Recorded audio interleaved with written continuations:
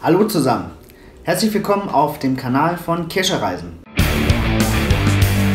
Heute wollen wir uns mal einer Frage nähern, die mir immer gestellt wird, wenn ich irgendjemandem vom Geocachen erzähle und das dann mit Hilfe der App oder der Geocaching-Website versuche zu verdeutlichen. Eine Frage, die sich fast jedem stellt, der das erste Mal auf die Karte schaut, was heißen diese ganzen Symbole? Ihr wisst ja vielleicht, dass es unterschiedliche Geocaches gibt und die werden durch unterschiedliche Symbole auf der Karte und in der App dargestellt.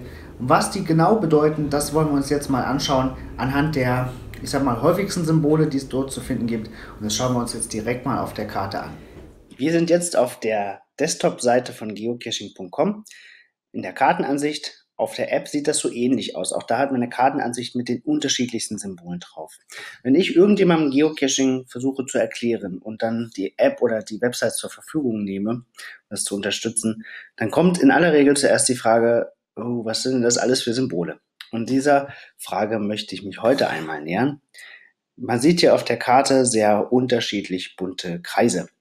Wir schauen uns zunächst mal die grünen an. Das sind sogenannte Traditional Caches, also solche, bei denen sich der Geocache direkt an dem Ort befindet, wo auch das Symbol auf der Karte zu sehen ist. Das heißt, du lässt dich einfach mit Hilfe deines Smartphones oder GPS-Gerätes zu dem entsprechenden Ort navigieren, fängst vor Ort an zu suchen und hast den Geocache hoffentlich nach kurzer Zeit gefunden. Dann kannst du weiter zum nächsten oder bist fertig. Dann haben wir hier noch diese orangefarbenen Geocaches. Das sind sogenannte Multis oder Multicaches.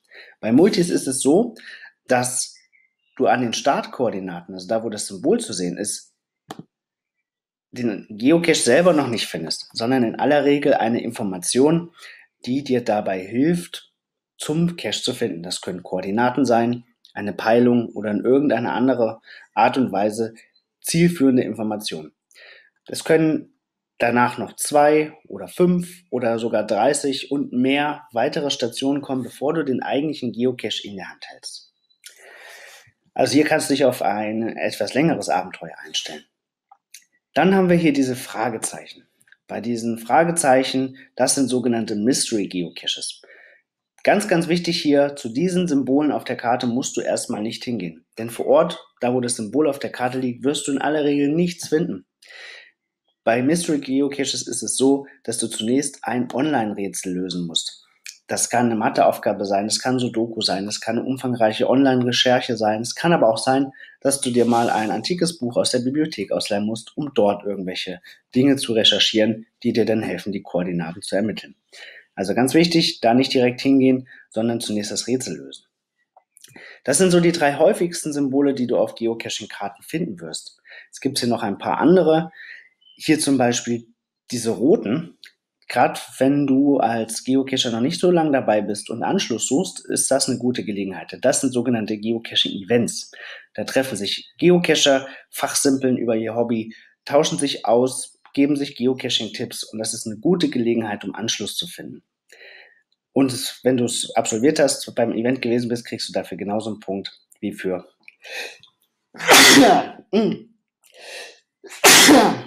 Verzeihung, wie für ein regulären Geocache. Ja, dann gibt es hier noch eine Menge andere Symbole, diese Virtual Caches oder hier Where I Goes. Darauf gehen wir aber in dem nächsten Video ein. Du weißt jetzt erstmal die drei häufigsten plus die Events und ich hoffe, dass dir das ein bisschen geholfen hat. Was ist deine Lieblings-Geocache-Art?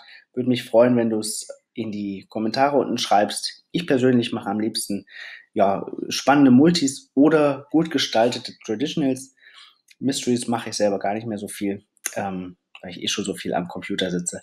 Äh, aber ja, da hat jeder andere Vorlieben und das ist ja auch das Schöne an dem Spiel, dass da für jeden was dabei ist. Ich freue mich auf deine Meinung. Bis bald.